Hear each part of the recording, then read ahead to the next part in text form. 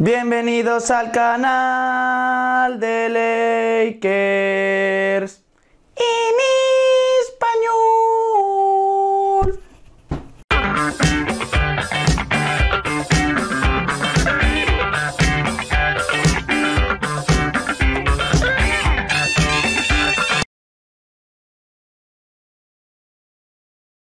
Victoria de nuestros Ángeles Lakers ante unos New Orleans Pelicans de Julius Randle que volvía a casa por Navidad, aunque se llevó un taponaco.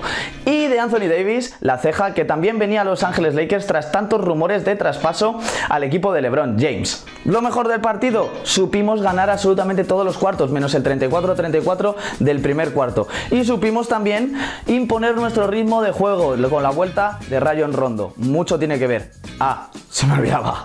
Uf, espera, que ya estamos en el 72% de tiros libres. ¡Vamos! Vamos mejorando.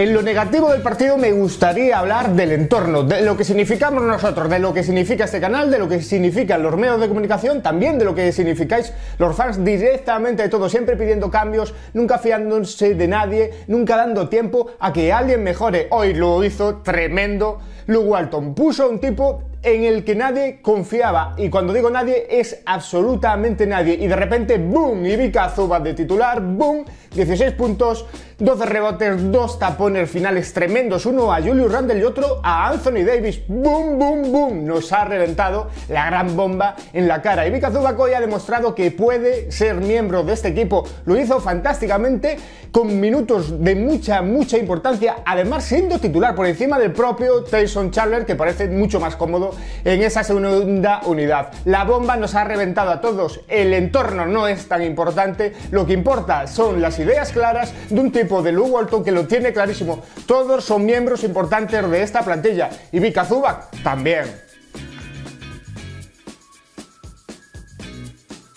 El MVP del partido se va una vez más, una vez más, y otra, y otra, y otra, otra vez para LeBron James. 22 puntos, 12 rebotes, 14 asistencias, un nuevo triple doble para LeBron James, pero sobre todo darle mucha, mucha importancia al mejor jugador del mundo porque nos está intentando representar. Dentro del parque lo está consiguiendo, otro triple doble, otra victoria más, pero también fuera del parque. Directamente LeBron James cogió, ¿eh? cogió y dijo lo que todos opinamos y lo que todos queremos. Anthony Davis, señores, debe de estar en Los Ángeles Lakers. Oye, seguramente sea modo traspaso, seguramente sea cambiando determinadas piezas, pero hay que insistir en ese traspaso de uno de los cinco mejores jugadores de la actualidad. LeBron James lo quiere, así lo dice y se la jugó, se la jugó. Ya hay muchos equipos por ahí pidiendo sanciones incluso para el propio LeBron James porque este tipo de declaraciones no se pueden dar. El caso es que LeBron James como mejor jugador del mundo y con todo su estatus lo dijo claramente. Queremos Anthony Davis aquí, queremos a la ceja aquí y por lo tanto era momento de decirlo. Por lo tanto, señores,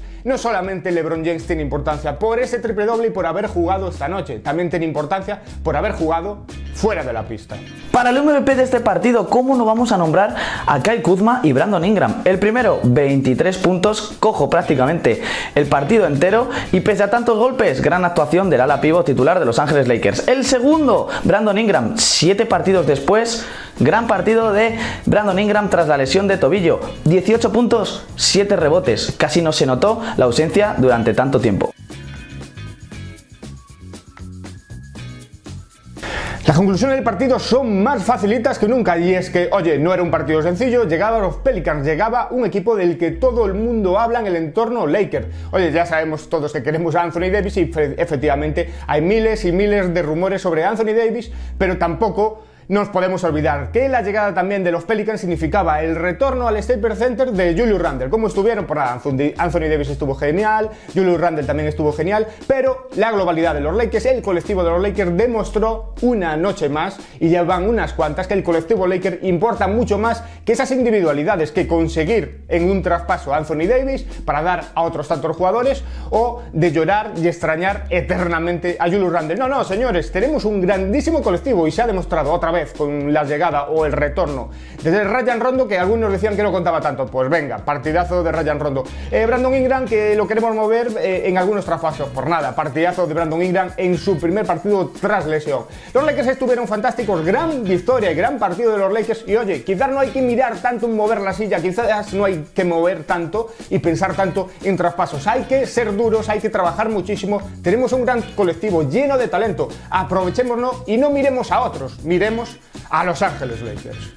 En las conclusiones, ¿os acordáis lo que os dije unos vídeos atrás? ¿Os acordáis? Todavía no estaba Brandon Ingram y decía, cuando llegue Brandon Ingram y se incorpore a estos partidos de Kyle Kuzma con tantos puntos y a estos partidos de LeBron James, quiero ver a Brandon Ingram metiendo por lo menos 20 o más puntos y a los tres a Kuzma, LeBron y Brandon metiendo 20 o más puntos y ganaremos absolutamente todos los partidos, seremos imparables. Bueno, pues casi se ha cumplido. Básicamente, 18 puntos Brandon Ingram, 23 puntos Kyle Kuzma y triple doble con más de 20 puntos de LeBron James. Así que, contento o no, lo siguiente. Hasta aquí el vídeo de hoy, nos podemos ver en nuestras redes sociales, arroba la fiebre Lakers, tanto en Twitter como en Instagram. Uno lo lleva Pichu, el otro yo, lo adivináis. Y por supuesto, suscribiros por ahí abajo al canal, que no os cuesta nada, es un clic y nos hacéis muchos favores a estos dos infectados a la fiebre amarilla. Vosotros, infectados también desde vuestras casas, desde vuestro móvil, desde vuestros trabajos, desde donde queráis vernos. Nos vemos en el próximo vídeo de la fiebre amarilla. ¡Hasta luego!